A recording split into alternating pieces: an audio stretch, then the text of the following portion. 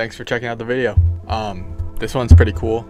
It was a uh, pretty fun event, and a lot happened. So I'm gonna start off by saying I'm I'm gonna talk through some of this video. I'll pop in from the present, kind of explain what was going on through certain motos and certain parts of the day. Other than that, it's gonna be kind of like all my other vlogs. I'm gonna start off with the day before. If you haven't seen that video, check it out. Um, pretty cool. End up wrapping up two East Coast championships. Good day racing. Track was fun. Then we uh, we went out to a local place, got some really good food, had great dinner, and uh, headed back to the campground in the morning. I didn't film any practice because there wasn't much of a point. The first couple motos, I had a few close calls just because uh, I was wearing my white boots and those boots are pretty shot. So if you can see right here, the hinge part of it, it it's fully just shot. It grabs the plastic and and really messes up when you're holding the bike. And it would clip during the whoops and I wouldn't get full range of motion. And scary. it wasn't going very good. So for the uh, for the heats, you'll be see you'll see me in the white boots. For the mains, I was wearing my red boots, so it's an easy way to tell them apart. And then the other side that didn't have the boot problem, uh, my rear brake master cylinder was actually wearing through, and this was happening the whole weekend. But I was more worried about it on this day. So you can actually see the O-ring, like you'll see in these pictures. I had a little bit less pressure, so I was I had to be careful of that. And then the weekend after, I ended up making this cool guard that covers it, and I have a new uh, master cylinder on the way. So shouldn't have to worry about that in the future. So for Sunday's racing, they end up peaking up the whoops a little bit more, so they were a little bit trickier. Um, a few of us had some pretty close calls. I have a good crash in them, which you'll see later in the video. But yeah, they were definitely tricky, and with my suspension being so soft, it it was uh, it was really tough. Also want to point out really quick that the turnout was pretty low for this day. Saturdays was kind of low too, but Sundays was even less because unless you're in the hunt for the title, then it didn't really make much sense racing it unless you just wanted the track time.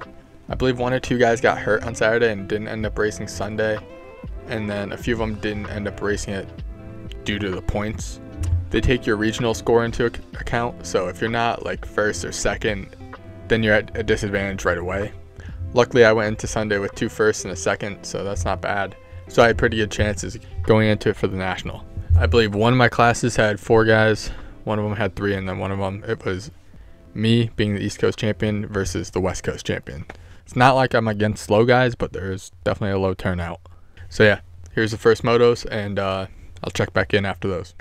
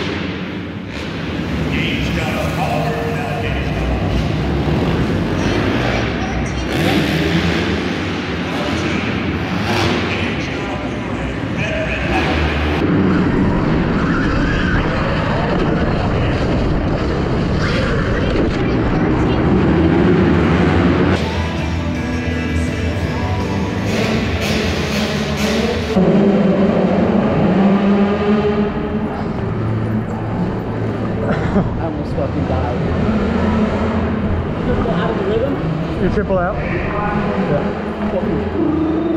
Dude, I caught a, ru- at that time in that same jump, and uh, it threw me sideways pretty good. So sketchy. Is,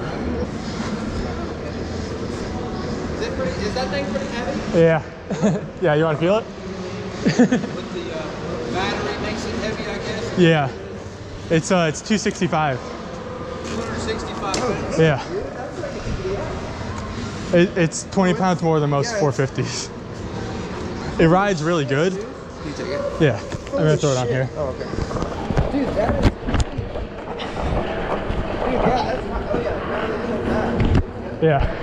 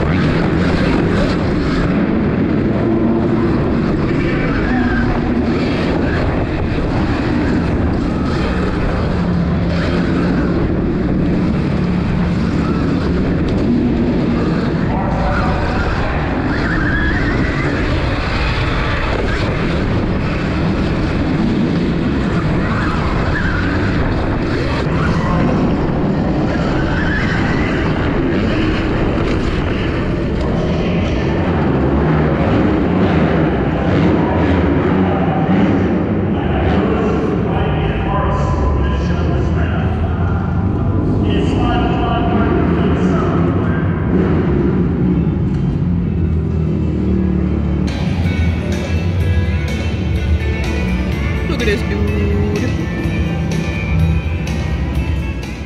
So yeah, those motos didn't go super good. Um, wasn't really pushing it with those whoops and the boots, and I I just had a few close calls. And some of the classes, it didn't matter if I what I got.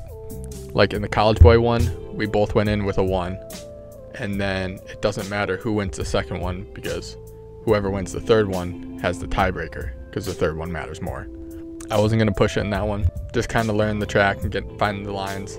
I really wish I was tripling out of both rhythm sections this day, but that suspension just made it too risky. I mean, if if I went long just a hair in each rhythm, it was uh, it was a real rough landing. So there was no point in me trying it and end up hurting my ankle or something. This is the moto that mattered the most. So this is College Boy Moto 3. Like I previously mentioned, we went into it both with a one. So he won the West Coast, I won the East Coast.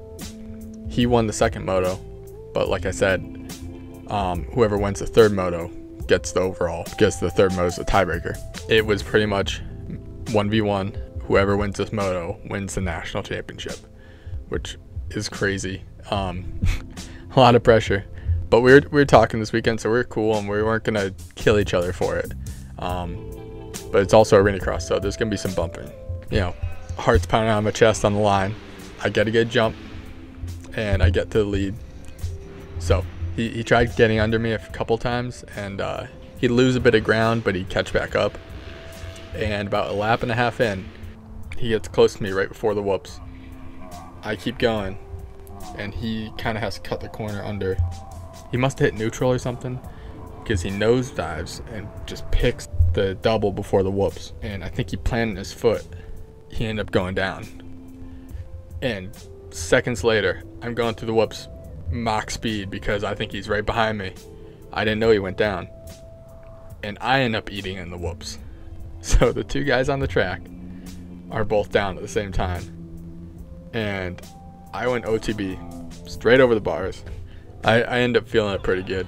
But I get back up and he's still on the ground, but I'm like, oh fuck, I gotta get going.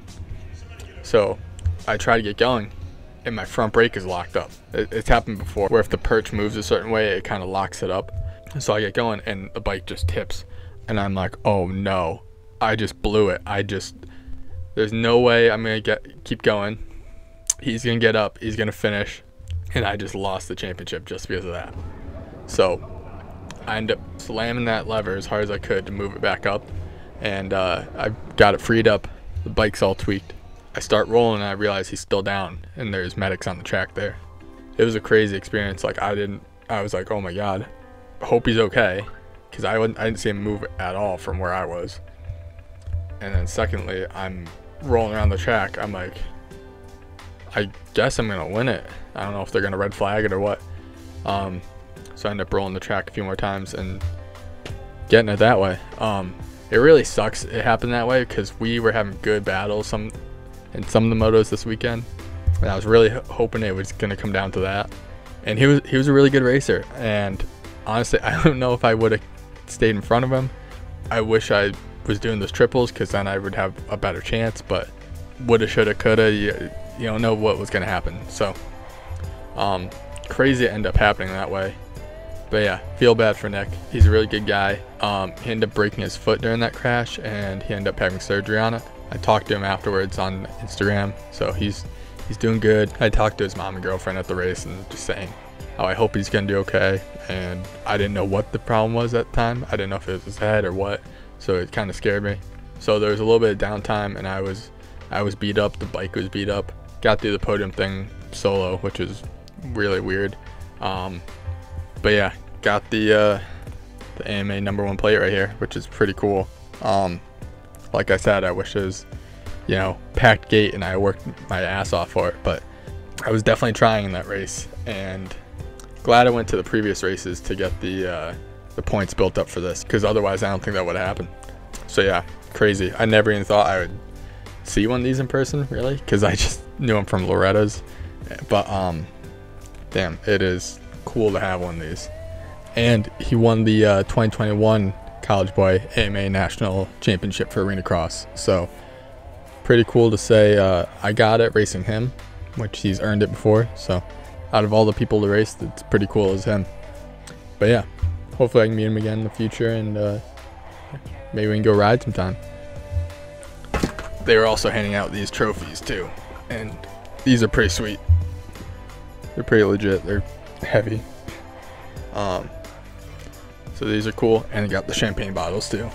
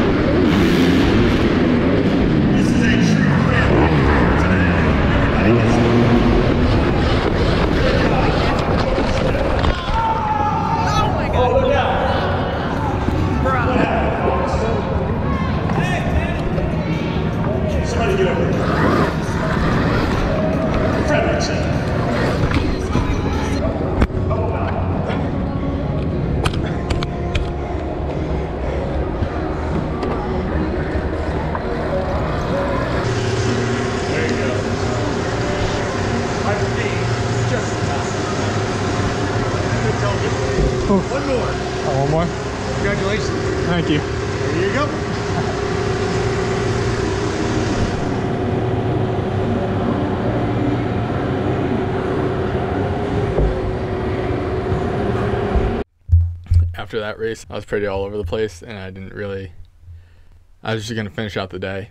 I tried to untweak the bike, but I was still like a little weary of the front brake locking up and I was beat up, so I didn't really, I didn't want to hurt myself or anything anymore. So I just kind of cruised around. Nick was in one of the other classes, so ended up just being me and another guy for the next one. And he's a bit faster than me, so he just took off. And I tried on the start, but what are you gonna do?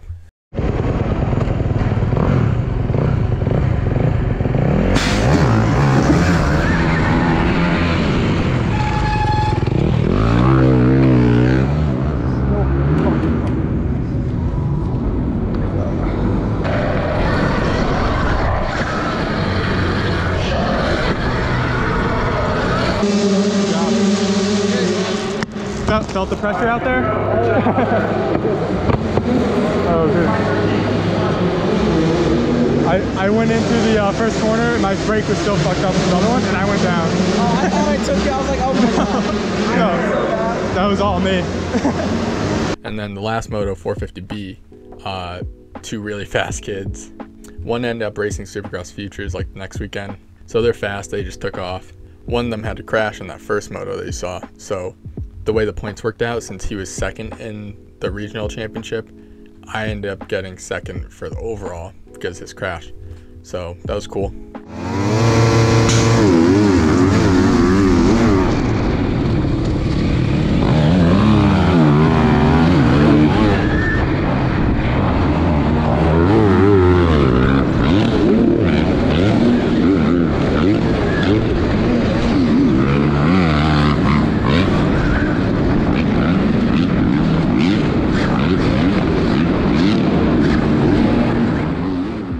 ended up with a national championship and two seconds in other ones. Just like the uh, regional championships in my other video, it's crazy that this is the first national championship on an Alta or any full-size electric dirt bike or possibly any full-size electric motorcycle. I'm not sure about road racing and all that, but at least like motocross wise, that's it. First AMA one. Like, it's crazy. I don't know. It's just an amateur one, so it doesn't matter as much as the pros, but to say I have that record is uh it's pretty cool. It's pretty cool to say. I I love this arena cross series. These tracks are so much fun. The people there are pretty cool. And I love that they still go to Albany. So there's at least a somewhat local one around. I love racing arena cross way more than like moto really. Um, love the jumps, love the whoops. I just wish there was more of a turnout. I mean, it's the first year that AMA Arena Cross is back, so that's cool. But I just want more people to check it out and see how cool it is. They put in a lot of work, and the schedule goes really smooth, and they put on a cool pro night show too. So yeah, hope more people check it out in the future. Um, if everything goes good this year, I think I'm gonna. Hopefully, I can move up to A and uh, try racing the pro night at Albany later this year. But we'll have to see. So yeah, definitely an amazing trip. Um, like I said, never expected to get one of those plates, but the track was a lot of fun. Had some fun racing. Pretty cool stories. But yeah, now I got my eyes set on the NAMX series, so I'm doing spring and fall. I had to miss the first round for uh, Salem, Virginia Arena Cross, which was a few weeks ago. About a week from now uh, is the second round of spring series at Southwick. So might have another video in between, but not sure. If any of you guys are interested in racing some arena cross, definitely check them out. At least go watch Pro Night. Try racing their amateur day because they have uh, all the normal classes. They got pit bike classes, and yeah, it's just a fun experience. Yeah, hope you guys enjoy this video and uh, stick around and watch my NMX ones and other races I got going on this year. I got a 24 hour race with a team of six people, so that should be pretty cool. Possibly doing Canadian Nationals depending on if I can get a bike and how that all goes. Can have some cool videos going on this year. So, want to say thanks real quick to Whelen again for uh, helping me get to these races and uh, supporting me throughout the season. If you see me at the races, stop by and uh, I got some stickers to hand out, kind of like these ones. So, yeah, come say hi. Thanks for checking out the video and uh, stay tuned for the rest of my racing this year. See ya.